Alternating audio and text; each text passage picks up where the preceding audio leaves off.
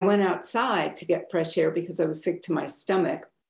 And I passed out and I fell over a ledge and I fell about 25 feet. My right leg was shattered. Um, I had back fractures. I was actually much later diagnosed with a traumatic brain injury. Around week four, my former husband came, suitcases packed, saying he no longer wished to be married. And even though I take full responsibility for my portion that contributed to that decision, you might agree that the timing wasn't exactly optimal, not that it ever is. And the real true blow came when we went to court. My former husband um, is an attorney, and he was awarded full custody of our son, who was only four and a half at that time. You're listening to the Woman of Value podcast. You are about to hear the story of a woman who is following her dreams and passions and creating positive change in the world. My guest today is Wendy Darling. She is the founder of the Miraculous Living Institute. She has over 40 years' experience as a relationship and transformational results expert. She's a speaker, an author, a seminar facilitator, management and organizational development consultant, a master healer, and a coach. She has created a unique and innovative system called the Miraculous Living Method, and it allows you to get the results you want with greater ease and speed. And we're going to talk a little bit about that during the podcast today. Wendy also hosted two of her own podcasts and has been featured in Forbes as well as many other publications. She is the number one best-selling author of a few books, um, Create Your Miraculous Life, It Is Never Too Late, and The Mir- Miracle That Is Your Life, two books. Wendy's clients repeatedly refer to her as their personal fairy godmother for assisting them in turning their dreams into reality. I love it. Well, welcome to the show, Wendy. Oh, delighted to be here. Thank you so much. Oh, so I love, we were talking a little bit before we began, and that we have so many common interests, and we actually are serving many of the same clients. And I know that being a woman of value is an important thing to you. So if you can help us understand what, what it does mean to you, that's the first question I ask everyone. First of all, I've been around for a while and I've seen a lot of changes. I turned 70 in May. Wow. And this is my, as you mentioned, this is my 40th year since I began my own business, and there were years prior to that. I started in business at a time where it wasn't really as common for women to be in executive positions. And I don't know if my brain just was wired differently, but I just never saw that as an issue. And what I and one of my early seminars that I actually created, we decided to put in a segment called Women Working with Women. Because way back then, and it's still somewhat prevalent now, but thank goodness has changed significantly. Women were not necessarily as supportive of each other as they are today. You know, when I was in my early years of my career, I was mentored by men. And I took on a lot of masculine qualities in that process. Now, it worked until it didn't, because as women, we have such amazing gifts that are really needed in this period of time. And so a woman of value is someone that recognizes their uniqueness. You know, my original business was called Thumbprints International because I believe each and every one of us, just like our thumbprint, is born with special gifts and talents that we need to cultivate so that we can make our special mark in life. And so, in part, it's our job to discover those gifts. And a lot of times in early child development, more for women than men, we are trained to be other focused. And so we don't have as much feedback about who we are. I certainly wasn't. I, I never knew who I really was. I didn't even know what I was good at because I had the kind of parent who everything had to be corrected. Everything was never good enough. And it it really took me a long time to develop my own self-worth, my self-esteem. So a woman of value knows their worth. They know their uniqueness. They know who they are and they're not willing to settle for anything else. And for many of us, that's a journey of discovery, of growth. It's not like we pop out and go, woo, we're here. um, and so, but, but to really discover and once, you know, the nice thing that I personally appreciate about being 70 is I'm probably more in my skin in my life than ever before. You know, the things I used to worry about or be concerned about when I was younger are like, are you kidding me? You know, and if somebody doesn't like this, okay, that's fine. I'm good with that too. So it's it's there's a level of self-love, there's a level of self-acceptance, and there's also, if you want to call it a level of I feel that so many women today are really being called to offer what their unique gifts and talents are, to make their mark, to live in a, to help our world in a day where women's values, women's qualities are very much needed. I agree with that. I, I like that you added that it's a journey because I think a lot of people listening will say, well, how do I do that? I, don't know how to do that. How do I get from where I am to where she's talking about?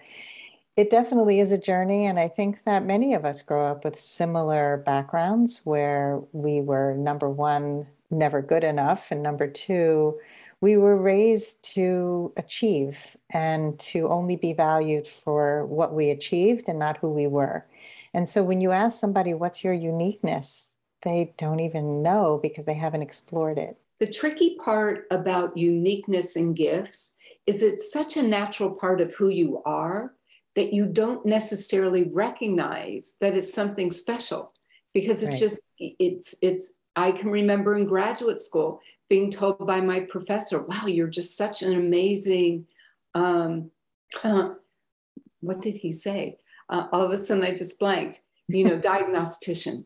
Mm. And I was like, I am, you know, and it's like, isn't everybody like that? You know, and and there were other things in that conversation, but nobody had ever said that to me.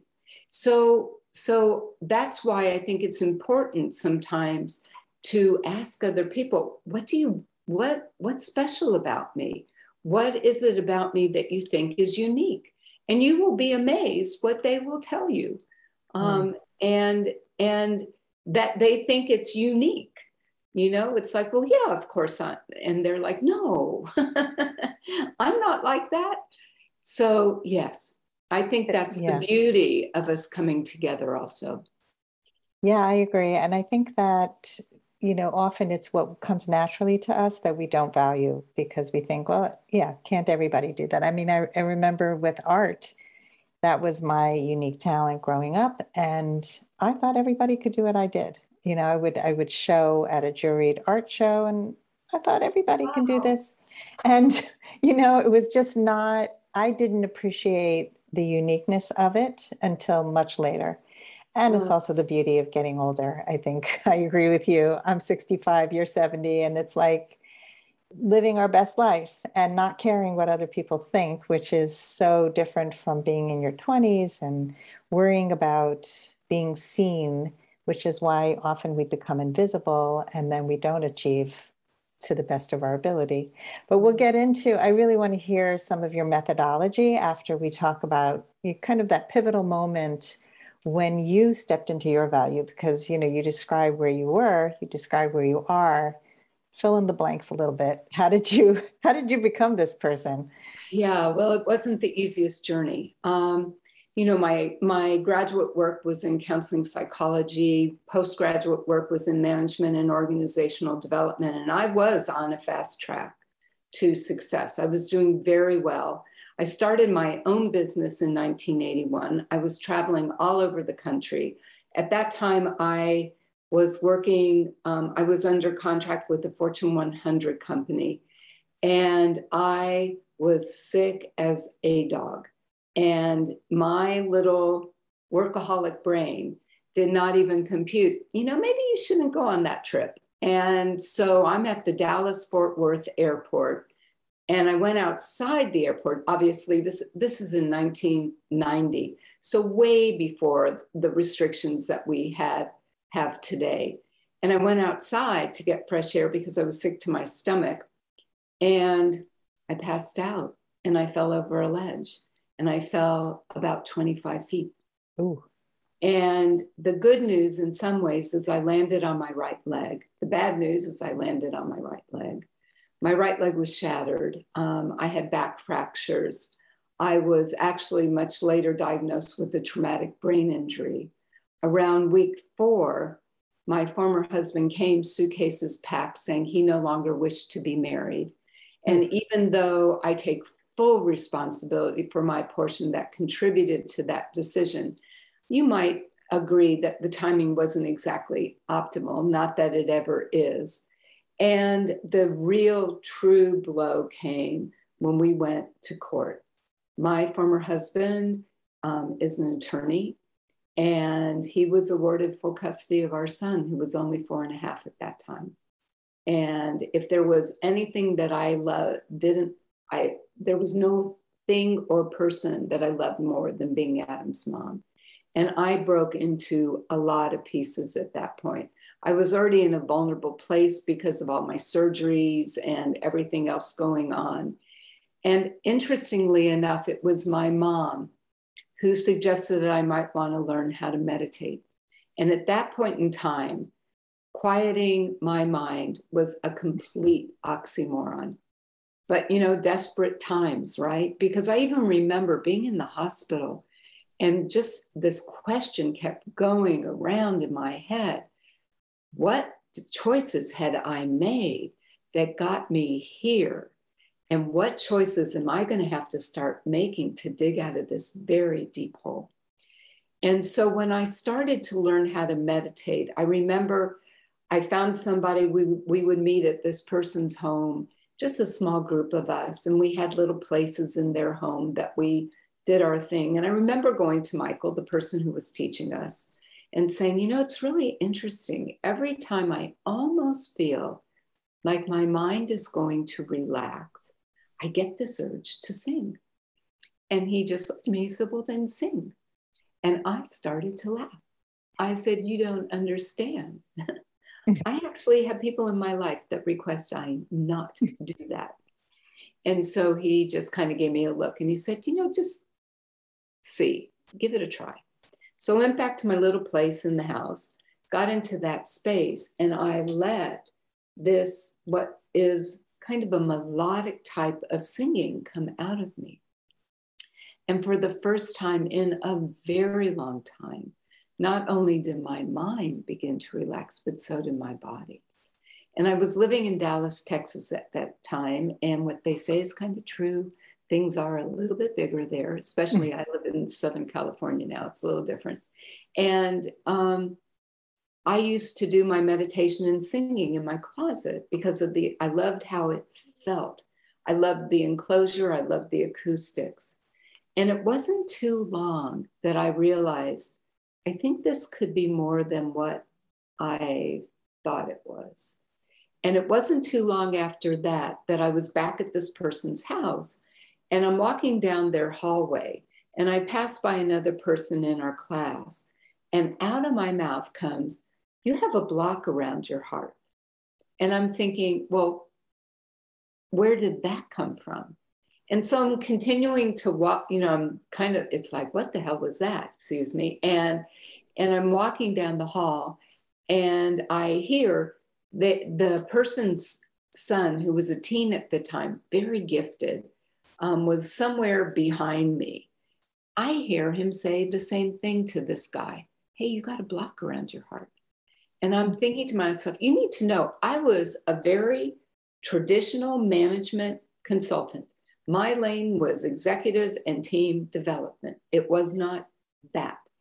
so I started to play with it And, you know, I started working with me and my friends, and it didn't take me very long to see. I don't know if it was the accident, the brain injury, whatever that opened this up, but I'm able to see energy. I see where there's stuck points in people. I see where old hurts and traumas are still lodged, creating that barrier to getting to where you want to be. And even though I was very self conscious about it for quite some time, I knew I had been given a very special gift. And it was kind of like, Wendy, you're going to have to get over this. Because what I love about this is I have worked with so many people now in a variety of ways, and I can shorten that learning curve. I can shorten the period of time from where they are to where they want to be because they don't have to figure it out. The process takes care of the inner work. There's a brain training component. And I think it was my journey through all of this that restored my confidence in life. It restored my confidence in God and opened up a whole world for me of energy and healing. I never, ever if you would have asked me, little girl, what do you want to be when you grow up? I don't think the word miracle worker would have ever been on a list of 100. Mm-hmm. And even how that got birthed was a very gradual process in itself, because to me, that's a very bold statement. You know, miraculous living, seriously, I would love to just have, you know. So I help restore hope. And the first place that it started was me. You know, after I lost custody of my son, I was devastated. I felt, um, but I was broken open. And, you know, my career probably masked a lot of underlying insecurities you know, I think you mentioned, you know, a lot of people strive for a certain level of success and how we define that. Well, I started with a blank slate. And so, because of that, I just very gradually, you know, kind of like the the caterpillar turning to a butterfly, you know, just it was it was a journey, and it wasn't like a straight line. You know, I would I would poke my head out for a while and then, you know, maybe retreat more. But for today, even though I wish that the process in my case was a little bit easier, I'm so grateful because I can make it much easier for somebody else. Yeah. Wow, what a story. I, first of all, I'm not surprised that you developed this ability after your brain injury because I know somebody else who developed the same skill set. Mm. Uh, this woman that I co lead boundaries courses with, she had a brain injury and she's actually done a clearing on me where um, you know she sees things and she's and she's been able to channel books just come out of her and like all this stuff that never happened before. So it's it's pretty incredible. Like scientifically they've they've done studies on brains after a brain injury and for some people like the the brain waves are just going so fast. There's so much going on in there. And there's a there's a lot of misunderstandings about what brain injuries are and how people can treat them um, but you know you you definitely had a, a huge challenge and you you worked really hard to overcome it. I mean, I can just imagine the difference between being this an analytical, problem solving, got it all together analysis to tapping into right brain, um, you know, really being much more open and, you know, not controlling. Like there's just, it's like the polar opposite. But, yeah, but obviously, they, this was they, in you. But they work very well together today. Yeah.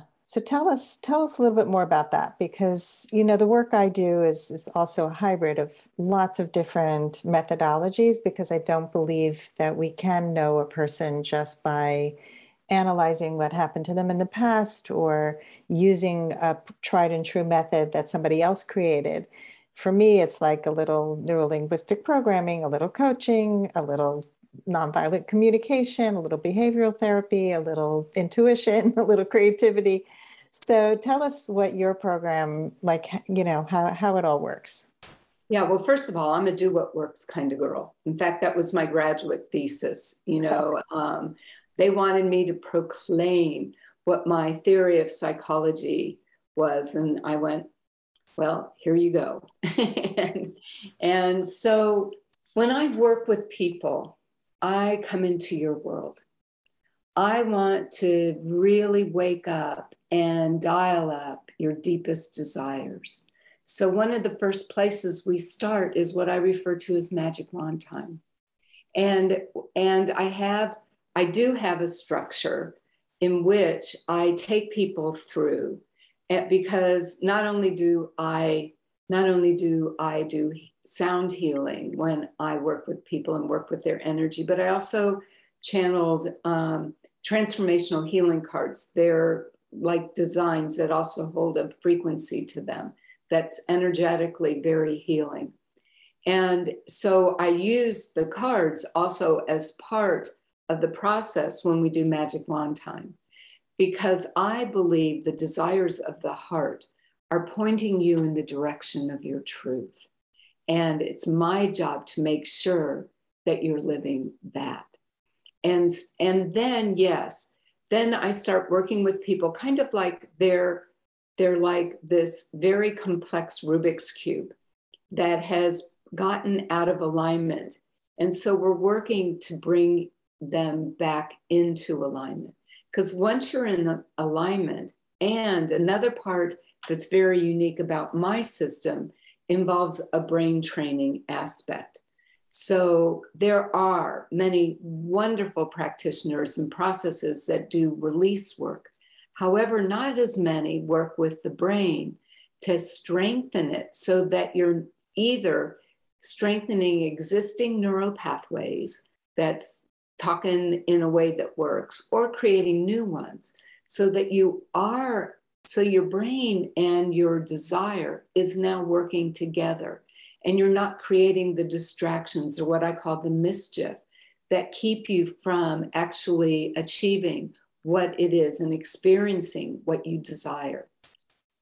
So then it does get into action. You know, it's not like this is just, oh, let's do this. But my clients will work with the system in between our time together. And because, as I mentioned, that brain training part of it is very important. I don't want people to risk defaulting back into old patterns which happens a lot just using release work. So even that turned out really, really good. And then we look at what I refer to as inspired action. And inspired action is yes, I definitely know what my next step is. Doesn't mean that that next step may be easy, but you just know you have to take it. And instead of making that huge to do list, you know, I just was interview I was just interviewing somebody just yesterday who has never done marketing, has never done a lot of things that are being suggested today. They just decided, "Oh, I'm going to do this." She believed in her body of work. She started giving away a few sessions and then she kept getting referrals. And now over 40, I'm sorry, over 50,000 clients later, you know, she's doing pretty well. Yeah. I'll so, say. so um, it it really depends again on who the person is, where they are, what they may need. And obviously, when I work with somebody, whether it's individually or in a group, you know, there is an accountability factor that really does help. And every and I have the ability that I see people's brilliance. I see them successful. When I was younger, when I was really younger, I've always had that gift. I didn't know that's what it was. Like I would meet boys and I would see their potential. Well, you don't want to date a potential that may or may not happen. Not a good idea. And so, so I do, I'm able to see and I'm able to hear and know people's truth. So when we're talking, it's like, mm, I'm not so sure that let's let's look at that. That that doesn't feel quite right. So I just really help people stay on track. And what I love, love, love is, you know, like you, I've helped people attract love, which I know we're not supposed to have favorite children, but it's one of mine. it's just so much fun. And and I've obviously I've helped business owners grow their business, make more money. I help people raise their financial set point. Every single person I've ever worked with is restricted to some extent in their ability to receive. So we we open that up as well. We dial up your what I refer to as your attraction factor and your magnetizer. And there are different variables that can help position you for success. And I've also worked with kids with learning disabilities and, and women that have been abused. And in an extremely short period of time, they are freed from that past trauma and they're able to move forward in their life. And I could give you lots of other examples, but but it's it's just looking at where they are, what their vision for the future is, what their mission is. I always want to know the higher meaning and purpose of why do you want this? Because let's face it, all of us at some point in time will wake up in the morning and go, uh, really?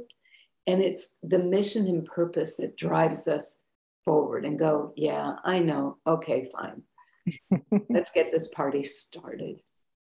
Yeah, wow. Um, it sounds like a great method and a successful method because you have accountability, you have inspiration, you are creating new neural pathways or strengthening the ones we have. And we often think, oh, our brains are older, we can't learn new things. And it's so not true. It is we so have, not true. yeah, those ridges, even though they're hard, you know, we just take a different path. And it's incredible because I've worked with an older audience and I have clients who are in their late 60s, early 70s, and they say, Can you help me? And I say, Yeah, because, you know, it's like I never found anybody who could help me. It's like that's such a sad thing that so many people go through life without somebody really tuning in to who they are and what they need. And once you get it, it's like, yeah, I mean, it's amazing. I um, you know, um, when yeah. I when I started to write my last book, Create Your Miraculous Life, it actually was it really started out it's never too late mm. because I was 69 this was last year we were in the midst of a pandemic there's so much more that I want to be experiencing in my life. And especially given the pandemic I thought how many people are wondering what's going to happen to them?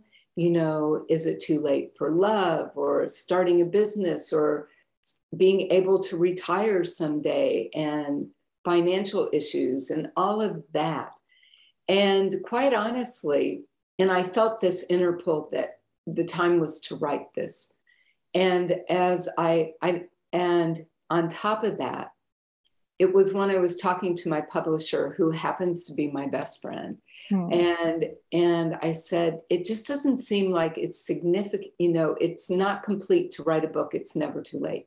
And she was the one that said, Wendy, what's the name of your business? you know, what was the name of your first book?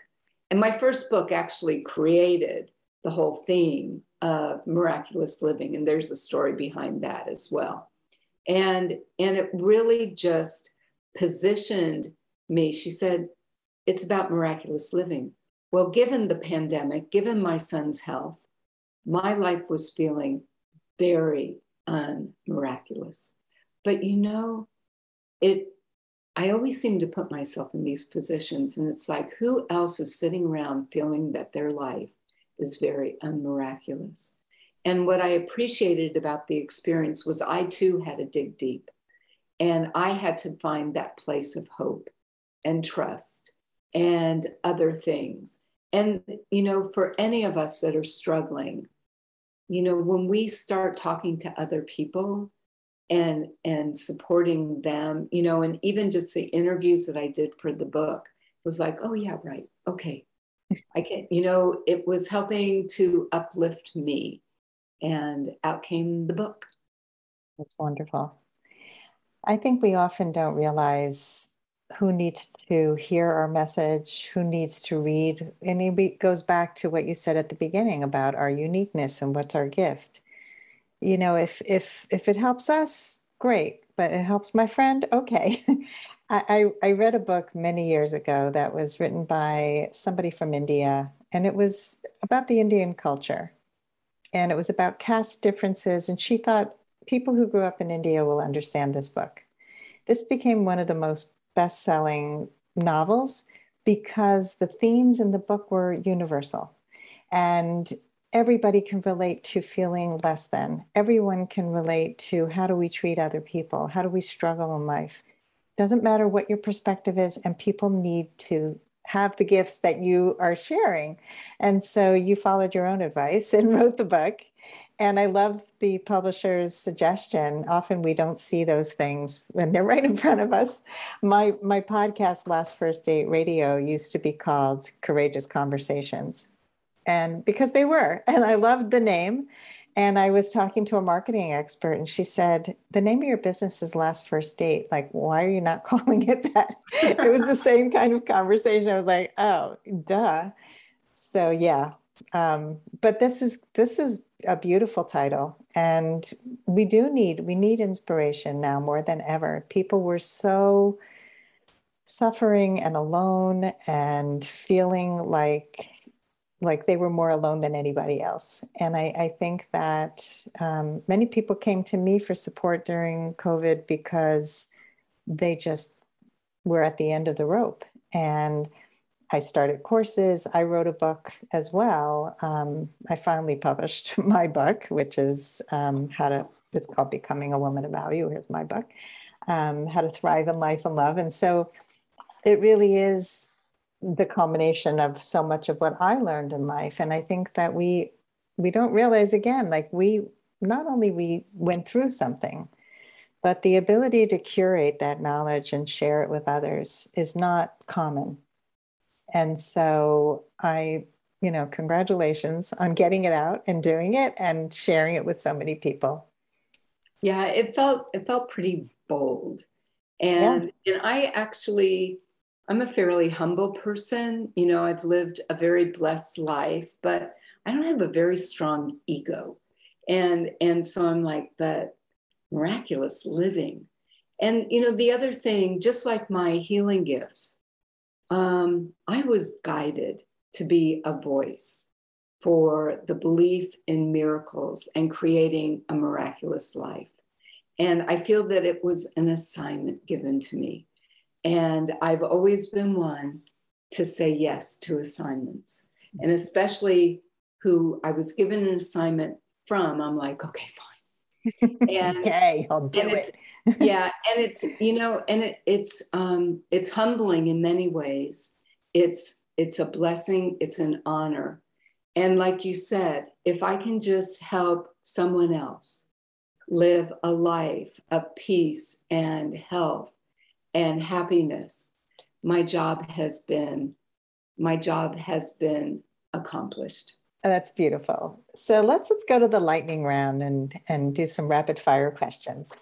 Okay. The first one is a fill in the blank. I used to think I wasn't blank enough. Oh, I didn't think I was good enough, smart enough, pretty enough. Um, that's a good start. that's those are pretty pretty basic. What was the number one thing that was holding you back from becoming a woman of value? Me. um, I I really did not know who I was. I did not have a very good sense of my identity.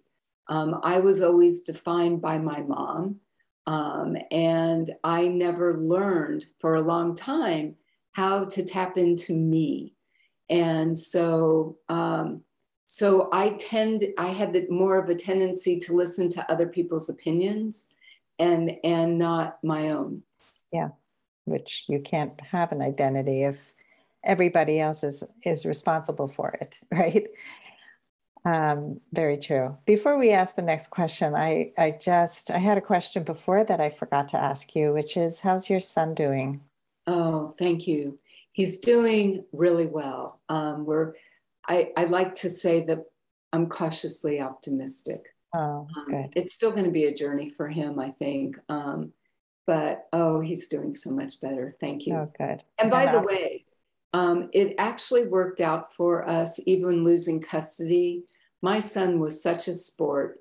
He taught me more about unconditional love than any other human being because we went from one home to two homes to two cities to two states. Mm. And he never flinched. And either I was going there, he was coming to me.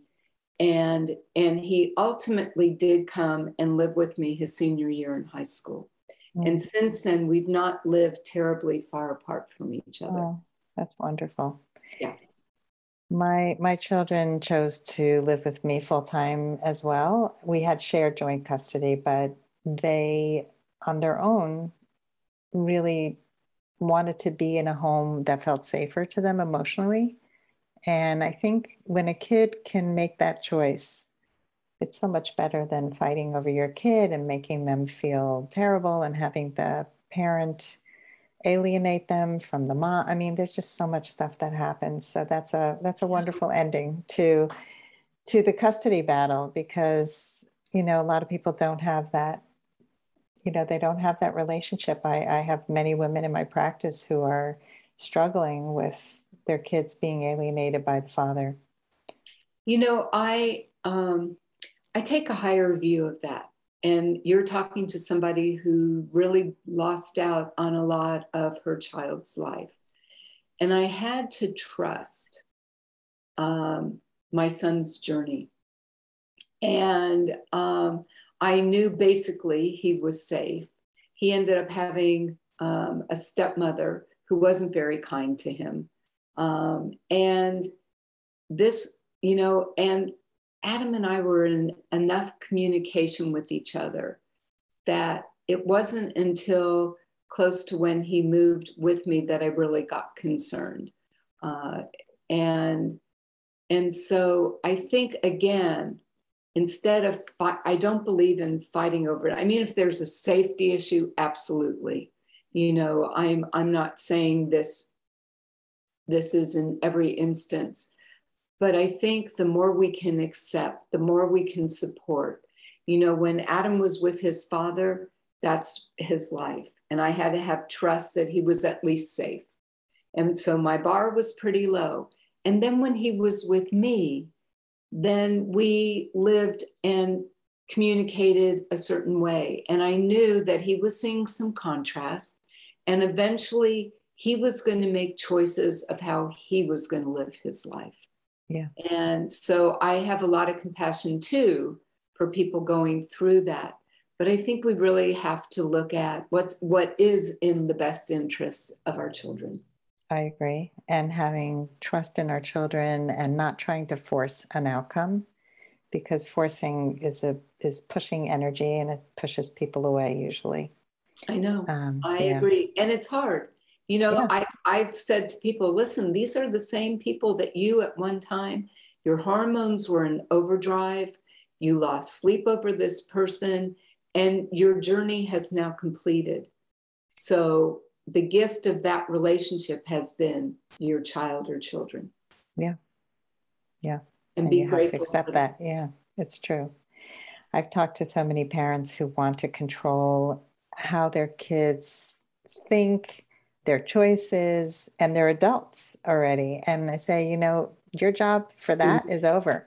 It's you know you need to trust that your child when something is important to that child who's now an adult they make those things happen and just because you see a different outcome or a different future for them that you think is better that doesn't mean that that's what they want or that's what they're ready for.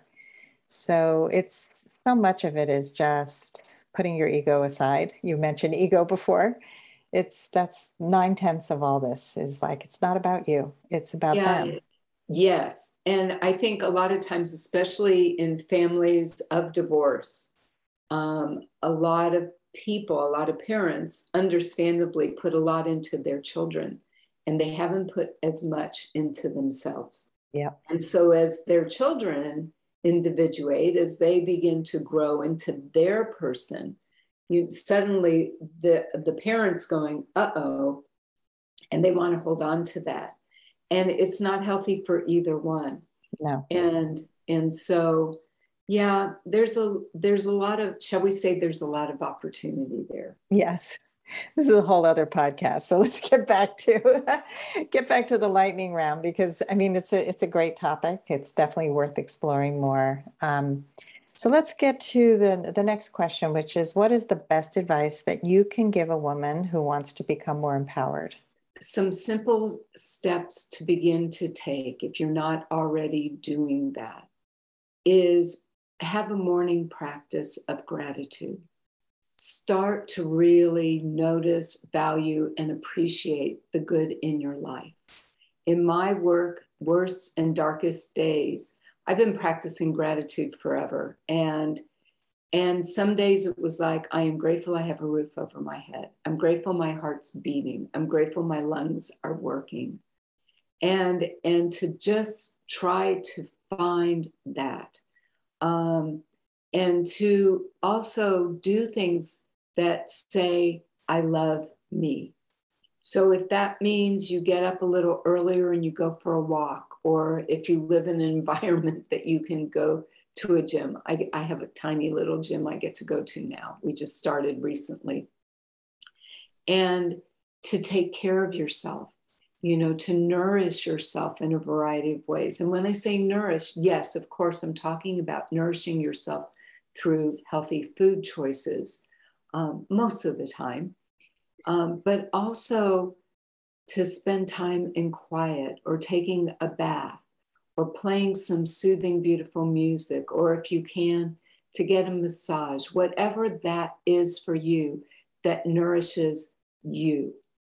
And, and as you begin to fill up, then you can start looking at, well, what else? Can I do? What else do I need? And be willing to ask for support. Support is not a four letter word. And, you know, I, I still reach out to people today for guidance, you know, if I have something going on. And as I've already said, I've been I've been living on this earth and doing what I'm doing for a very long time. It doesn't stop. It's great. And I love reaching out. And the truth of the matter is, my friends or whoever I'm reaching out to, they love it too. Yeah. You know, doesn't it feel mm-hmm. wonderful when somebody calls you up and say, you know, I'm really having a yucky moment. Can you help me? That's my technological term. and and it's it's like, oh my gosh, you know, doesn't it feel wonderful to be able to help somebody? Well, why would you think if you're the one that's in need, why would you want to provide to to pro- why would you want to deprive them of that experience? Yeah. I think when people are givers and don't ask for support they are so uncomfortable with asking and often they're martyrs they're not just givers. And it's uncomfortable it feels vulnerable and so much of what you've shared today is about vulnerability. It's sharing the hard stuff. It's not, we're not perfect beings who are, you know, the way that you were raised to always be perfect and it has to be better. That's not real. That's not your authentic self. And so that's what takes us away from who we really are. And asking for support in that vulnerable way where not only are you giving yourself a gift, you're giving a gift to the person who gives. And I think when a giver hears that, that you're actually giving a gift to someone else, that's to shift the brain a little bit, the mindset. You know, so when Adam was young, mm. my son had these little Buddha moments, you know, where it's like, who's the parent and who's the child? and one of the things that Adam said to me when he was just a little guy, he, I remember he looks up at me and goes, You know, mom, there's no such thing as perfect but everyone's perfect just the way they are. Wow. And I was like, who are you? Who are you? Oh my gosh. But it's so, that is a wise statement. Yeah. And I think we have to learn to be kinder to ourselves. to be able to accept our humanness. I don't even like to say imperfections. It's just the human experience and how wonderful that we get a myriad of emotions. You know, I I never one of my girlfriends used to say you're the best crier I have ever met and I'm like I never thought that was going to be my claim to fame. but I never was willing to try to squash this end of the spectrum because if I did, I also risked not being able to experience this end of the spectrum. Yeah. So true. I just had a an amazing experience visiting my grandchildren in Israel. They, they live really far away. And I have three little ones seven, four, and one and a half. And the seven year old, the day I was leaving, she started to cry. And I said, What's what's going on? She goes, I, I'm embarrassed to tell you. And I said, You never have to be embarrassed to tell me anything. So she whispered in my ear that she was really sad that I was leaving. And I said, I am so glad that you can express your emotions. I said, That is your superpower. And she goes, I don't have a cape. That's not real. I said, I said, say you're a superhero. I said, It's your superpower. I said, Please don't ever lose the ability to express all those feelings because it's so special for you to do it. So, you know, we need people in our lives who validate that having emotions is is good and it's special and it's real and it makes us who we are absolutely you know a lot of people including me we're not allowed to express ourselves emotionally or otherwise and um and it took and for me eventually you know when you have certain feelings and emotions that are held down you know think of your emotion like a beach ball and you're holding it down. Well, to hold a beach ball down underwater takes effort. But when you express it, it's it's light. And and to give yourself, and what a gift to give your granddaughter, that gift of expression is phenomenal because especially for women more than men, although men have their issues as well.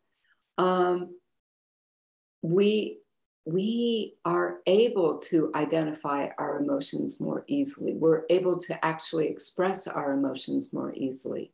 And we have to train ourselves because many of us were taught, no, we don't do that. Yeah. Man up. Right. Yeah. Woman up. okay. A few more questions and we're going to wrap. Okay. Um, what advice would you give to your younger self? I want you to pay attention and trust yourself more. You're brilliant, you're special, and you are going to be going on and doing some wonderful things. So enjoy this. Know that you are really special, despite what anybody is trying to tell you. Love it. What is something that people get wrong about you? I don't know that it's true as much now, but some people used to think I was a snob because I was quiet um, I am still, even though I'm very public in my professional life, I don't have a need to be at the center of anything. And I like listening to people. So I think that, and I have very good posture. So some people might think I'm a little aloof. And excuse me, actually, um, there's still, I can't say that I'm shy, um, but in certain circumstances, I don't, you know, I I don't try to force myself into anything. We were just recently with my sweethearts um, group of high school pals. So I was the new kid on the block, and and so and he was really concerned because he said, "You're not talking that much." I said, "It's just don't worry. I if eventually, if that happens, I'm good. I'm not worried. I totally understand all of that because I'm very similar. I think that, you know, when you have that kind of, um, it's not just being an introvert and being, it's, it's being introspective, I think that um, when you come into new situations and you're not just speaking to be to, to be heard but you're sussing out your situation and trying to see like i don't want to just have small talk for the sake of having small talk it's it's i know for myself i i want to have meaningful conversations which is why i do two podcasts i love having deep conversations with people so you know just talking for talking's sake before you really know someone can feel kind of eh. and quite honestly when i meet people i like asking questions so, um, yeah. so it's just the way it is. Actually, I consider myself a situational extrovert. Mm. I love being with people until I don't. Yeah. And then I need to I need to replenish by myself. Um, well, that's that's the definition of an introvert. I because introverts can be public speakers. Uh, you know, many presidents have been introverts. It's how you how you replenish and recharge. Yeah. And yeah, I mean, being with people is great, but an extrovert recharges with people. I recharge in quiet. Me too. when I was with my my daughter and grandchildren, I had my own apartment this time, and so I would say, "All right, I'm going to go back to the apartment now." it would be like, "I'm saturated. I'll come back when I when I've recharged." And it's that kind of self care because you were talking before about self care that's another part of self care. It's like know when you need to recharge, know when you have not, you know, when you're just out of out of juice. Because yeah. when you take care of yourself in that way, it helps everyone else around you. All right. So, final question. Okay. it's a big one. How would you like to be remembered? Oh, that is a big one. Well, first of all, I think I would like to be remembered for somebody that really cared and um, that would do anything and everything for her family and friends. And if you would ask them today, they already know that. And that I really was able to make a difference in the lives of others.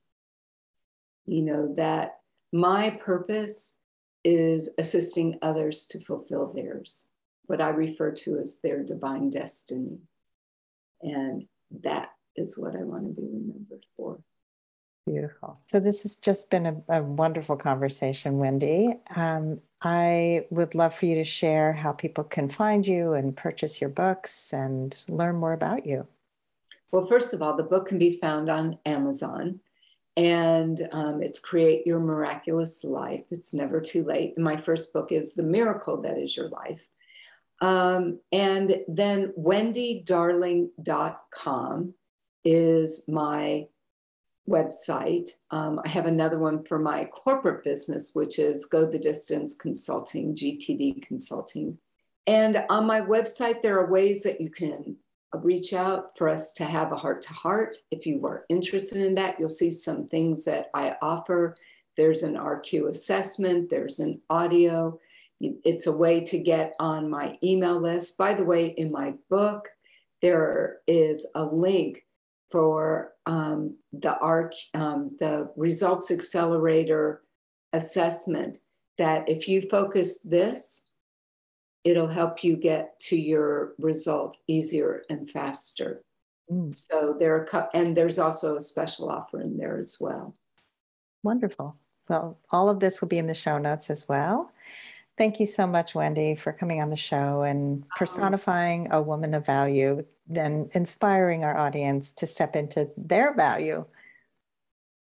Yeah, thank you so much. It's been a delightful experience. I really appreciate it. If you would like to step more fully into your value, grab a free copy of The Ultimate Guide to Becoming a Woman of Value on my website, thewomanofvalue.com.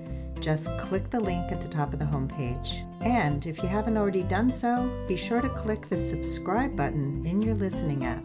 And if there's something in this episode that inspired you, please share it with others because the more we share these inspirational stories, the more women of value we will have in this world. I'll see you next time.